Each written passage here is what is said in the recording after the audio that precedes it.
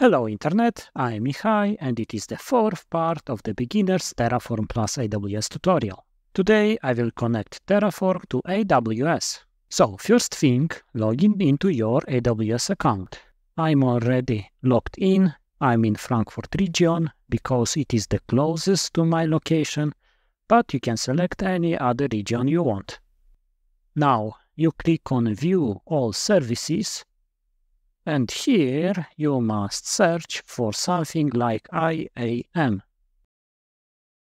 Open it. Here on the left is users. Here is my user, but I'm going to create a new one. So click on create user. Here for the username I write Terraform tutorial I don't provide access for management console. It is unchecked. Click on next.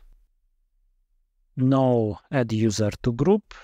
No copy permissions. No attach policies. Also, I don't set boundary permissions. Go next. I'm going to create two tags. The first one is creator